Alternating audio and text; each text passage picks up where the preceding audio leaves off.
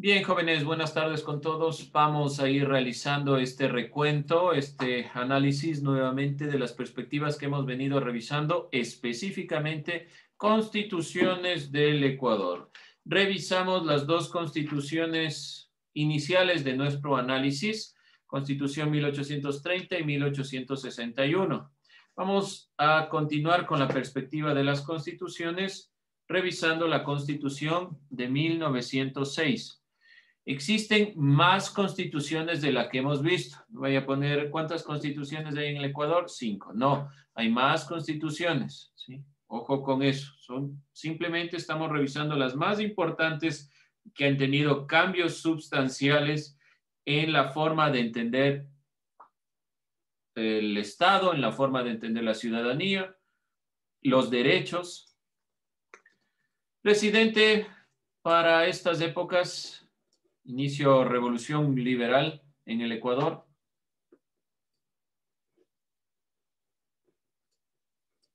Presidente de la época.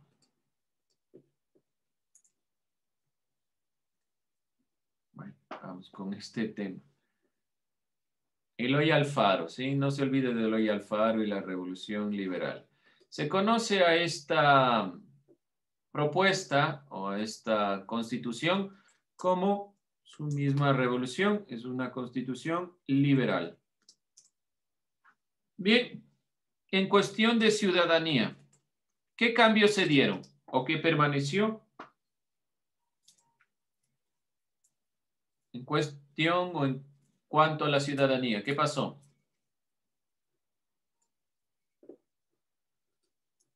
Vaya siguiendo sus apuntes. ¿Qué pasó? En cuestión de ciudadanía. ¿Quiénes eran ciudadanos?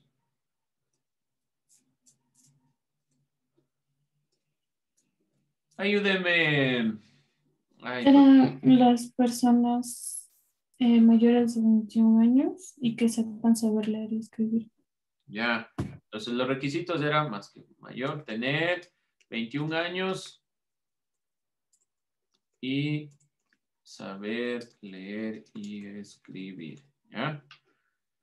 Permanece el requisito previo que ya se tenía en consideración. Eso en cuanto a la ciudadanía. Ahora, ¿qué fue cambiando? El Estado fue posicionándose, se posicionó como el garante Garante de derechos. ¿Quién garantiza entonces los derechos? Es el Estado ecuatoriano. Adicionalmente, y creo que es un punto importante de recalcar, la ruptura que tiene desde el gobierno de Eloy Alfaro, la ruptura con la iglesia se eliminan los impuestos del Estado hacia la iglesia o la inversión del Estado hacia la iglesia. Entonces, se rompe la relación iglesia-estado. No se olvide puntualizar eso. ¿Qué más podemos puntualizar, recabar en cuanto a derechos? ¿Qué cambió esta constitución? Si es liberal, sí, dígame. Que ya no era necesario tener una propiedad con un valor mayor de 300 pesos. Ya, eso no solo esta constitución. Desde la constitución de 1861 se rompió eso. Por si acaso, por, por si sale alguna pregunta, ¿cuál es la diferencia entre una y otra? Aquí ya desde la de 1861 eh, ya se rompió esto. ¿Algo más? La libertad de cultos. Ya. Si hablamos de liberalismo, entonces va a haber una libertad de culto. Defensa de la propiedad privada. Ya. Libertad de comercio. comercio. Propiedad privada. Son los parámetros fundamentales del liberalismo. libertad de opinión, Algunos elementos importantes. Si algo me equivoco en la redacción, me avisan. Bien. También intentó modernizar el Estado, que es sumamente importante por la incursión del ferrocarril y todo lo que conocemos nosotros. En cuanto a los poderes, o mejor dicho, las funciones del Estado, ¿cuáles funciones tenía este Estado? Las mismas, ejecutivo, legislativo y judicial.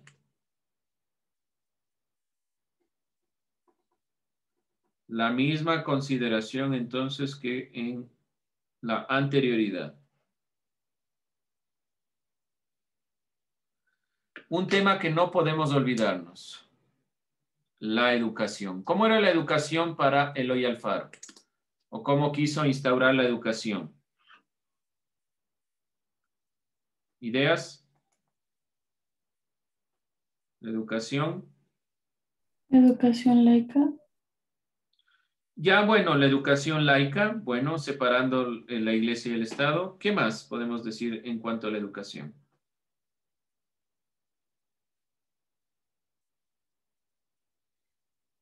¿Alguna consideración más?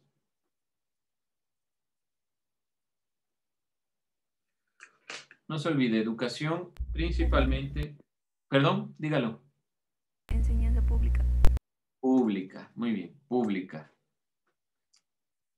Eh, podemos decir que en el gobierno de García Moreno, la educación tuvo más acceso que para 1830, pero seguía siendo una educación a cargo de la iglesia. Por lo tanto, yo no considero que era una educación pública como tal. En cambio, con Eloy Alfaro sí, porque se quiere una igualdad y vemos que la creación del Colegio Femenino Manuela Cañizares es uno de los grandes elementos porque las mujeres van a poder ir educándose. 1978, gobierno de Jaime Roldós. Jaime Roldós Aguilera, muy bien. Jaime Roldós viene de una eh, consideración importante en el país. El problema principal dado en el país fue la dictadura militar y por lo tanto se le conoce a este gobierno como el retorno a la democracia. ¿Cuál es el punto más relevante de la constitución impulsada por, no solo por Jaime Roldós, obviamente, sino por todo este movimiento del retorno a la democracia? Derecho, Vamos. Derecho de ser libre por el término nacional y la igualdad de las mujeres. Ya vamos, ahí la igualdad. Igualdad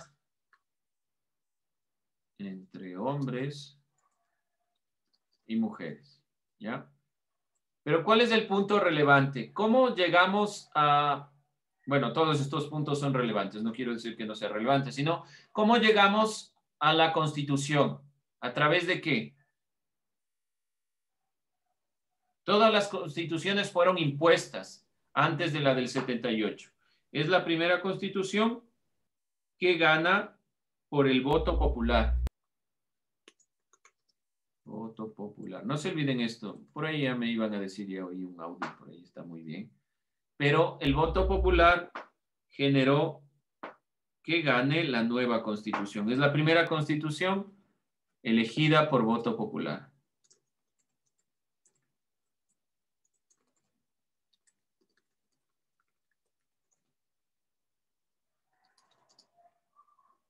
Ganó con el 43% de los votos. ¿Cuál era la propuesta? Presentar nuevamente la constitución del 45 con alguna reforma o generar una nueva. Ganó la nueva constitución. ¿Qué más podemos puntualizar en cuanto a la ciudadanía? Aquí sí ya hay un cambio fundamental. ¿Quiénes son ciudadanos? Mayores de 18 años y se elimina saber leer y escribir. Ya, gracias. Mayores de 18 años y se elimina el saber leer y escribir. Por lo tanto, los analfabetos también entran en esta consideración del voto y la toma de decisiones. Ya podían votar. El Estado, como aquí nos decía, el Estado se posicionó como garante de derechos. Para 1978, el Estado asume la función primordial de garantizar los derechos.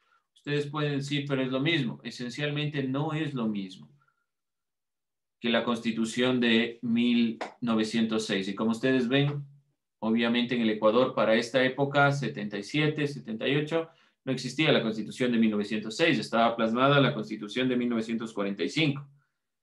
Pero aún así, tomando en cuenta estas dos constituciones, no es lo mismo asumir la función primordial que posicionar como garante de derechos. Quiere decir que el Estado está posicionado para garantizar los derechos, pero no es su función primordial, no es lo que va a ser primordialmente.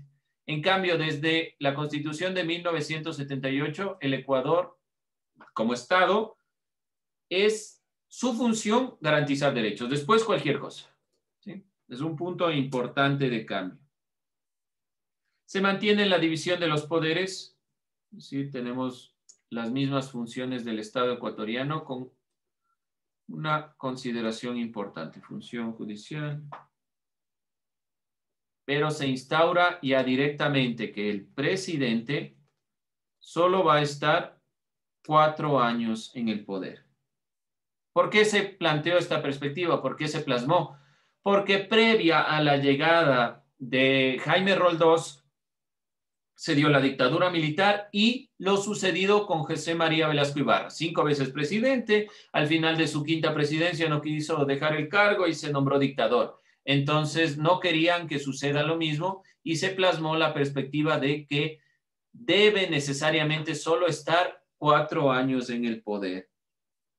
Además, en el legislativo los diputados son electos por voto popular.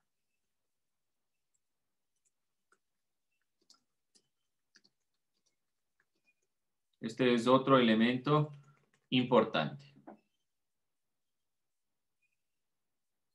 Y van a cumplir esta misma consideración que ya se instaura para la presidencia y que debe ser también para los diputados que funciona hasta la Asamblea actual, cuatro años para el poder y son electos por voto popular. En cuanto a la educación, la educación para esta época, ¿qué pasó con la educación para 1978? Convirtió en un derecho irrevocable. Entonces, como es un derecho irrevocable, todas las personas deben acceder a la educación. La educación es un derecho legítimo, propio de todos e irrevocable. Y al ser irrevocable, todos los ecuatorianos a través de la educación se imparten los principios de nacionalidad, democracia y comienzan a hacer toda esta perspectiva de generar un ámbito dentro de la educación que promulgue principalmente el reconocimiento de la identidad ecuatoriana, derecho legítimo e irrevocable. Bien, posteriormente estuvimos hablando Constitución 1998, presidente de la época.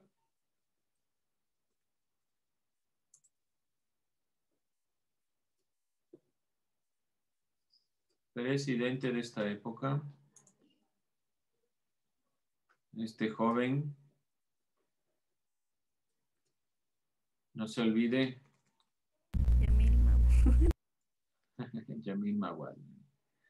Muy bien, no se olviden de este representante porque vamos a estar revisando la temática que se refiere al feriado bancario el próximo año. Es importante tomar en cuenta los avances también que tuvo la Constitución del 98 en contraposición a las perspectivas de la toma de decisiones neoliberales de Yamil Maguar, cosa que hemos ya revisado, pero que sí es importante que ustedes tengan en mente. O sea, no se olvide, ya, de aquí al próximo año no se saben acordar y después nuevamente estamos en lo mismo. No se olvide esto, ¿sí?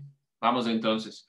Cambios principales en cuestión de ciudadanía. Podemos decir que este movimiento fue, o el gobierno más que la constitución, el gobierno de Yamil Mawad, neoliberal.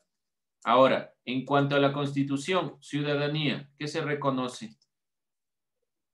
Para los derechos de los niños, niñas y adolescentes. Bueno, eso en cuanto a la perspectiva general, derechos de niños, niñas y adolescentes. Y en cuestión de la ciudadanía, ¿quiénes son ciudadanos? Desde el nacimiento. Desde el nacimiento. Este es un cambio fundamental. La ciudadanía desde el nacimiento. Eh, ciudadanía para todos desde el nacimiento. En cuanto a esta consideración, entonces el Estado, ya hablando propiamente de los derechos, sigue siendo o se asume como garante de derechos, algo que trastocó la perspectiva anterior, derechos y principalmente podemos nosotros decir que además de la consideración de ser el Estado garante de derechos, se reconoció al Estado ecuatoriano pluricultural y multiétnico. ¿Sí? Pluricultural y multiétnico. Se reconoció también por primera vez los derechos, derechos colectivos de los pueblos. De los pueblos. Bajo esta perspectiva de reconocer que somos pluriculturales y multiétnicos. Es un cambio fundamental. La constitución de 1978 reconoce realmente que tenemos más lenguaje que el castellano, que el quichua, que los pueblos también forman parte realmente de esta consideración pero la Constitución de 1998 ya reconoce los derechos de los pueblos. Bien, vayan tomando en cuenta esto y continuamos ya con la Constitución de 2008. Presidente de la época. Rafael Correa. Rafael Correa, muy bien. Dentro de esta consideración, entonces, va a haber un cambio de perspectiva. Vamos a iniciar esto que se llama socialismo del siglo XXI. No se olvide esta consideración que vamos planteando aquí. Dentro de lo que vamos nosotros revisando. Fundamentales de la Constitución de 2008, del gobierno de Rafael Correa. Vamos a ir tomando en cuenta primero que la constitución de 2008 no eliminó todos los elementos anteriores, fue tomando consideraciones importantes, por ejemplo, ciudadanía. En cuanto a ciudadanía, ¿quiénes son ciudadanos? Aquí le damos énfasis. Todos, ¿sí? Le damos énfasis a lo que ya se había planteado acá, que dice desde el nacimiento. ya le da énfasis a todos sin ningún tipo de discriminación, sin distinción alguna, sin ningún tipo de distinción. Ese es un punto sumamente importante que le da énfasis. Ya se dijo eso anteriormente, pero esto ratifica estas consideraciones. Ahora, y recordemos acá un poco, me faltó esta consideración, permanece los tres poderes del Estado para la Constitución de 1998. ¿Qué pasa en la Constitución de 2008? ¿Qué pasa en esta Constitución? ¿Cuáles serán los poderes del Estado o las funciones del Estado? No podemos poner judicial. ¿Cuáles son las otras que se adicionan? La función electoral y la función de transparencia y control social. Este es un cambio importante en la Constitución. Cambia la perspectiva.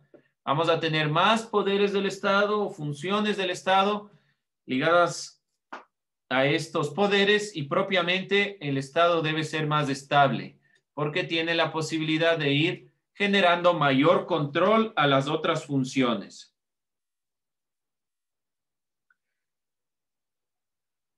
Asumimos una visión o una perspectiva, la idea del suma causa y como el motor fundamental y planteamos que el Estado ecuatoriano, Estado ecuatoriano, es principalmente soberano, independiente de cualquier poder externo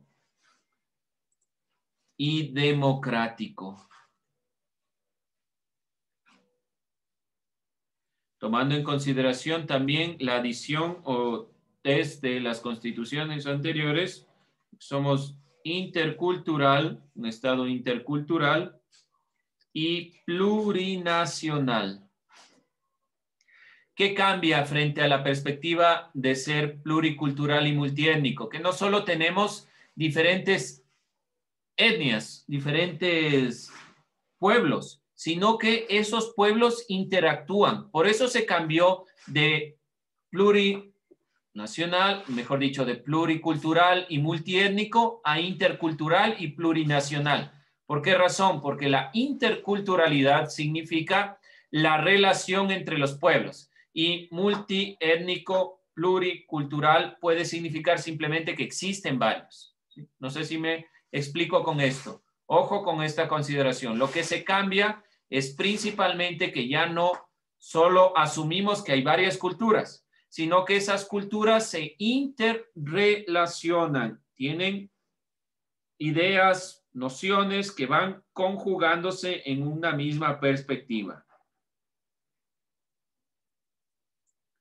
Bien, y un elemento fundamentalmente importante, la inclusión como un modelo, como una perspectiva, como una idea a tomar en consideración de este gobierno y de, obviamente no solo de este gobierno, sino también de su constitución. ¿Alguna duda, inquietud, pregunta? Hasta ahí. Dígame. ¿Podría volver a lo que anotó en la Constitución de 1830, por favor? Me iba a decir, puede volver a septiembre, ya no, pues tanto. 78 ahí. No, no, a la de 1830. ¿Puedo volver a la de 1830? Sí. No, no está ahí. No, pero lo vamos puntualizando rápidamente, ¿ya? 1830. ¿Qué necesitamos puntualizar de la Constitución de 1830? Ciudadanía. Esto lo voy creando con ustedes. Por eso no está ahí. 1830, requisitos para ser ciudadanos, ser hombre. Mayor de 21 años. Mayor de 21 años. O estar casado. Exacto, o estar casado. Poseer. Una propiedad de, con valor de 300 pesos. Con valor de 300 pesos. Muy bien.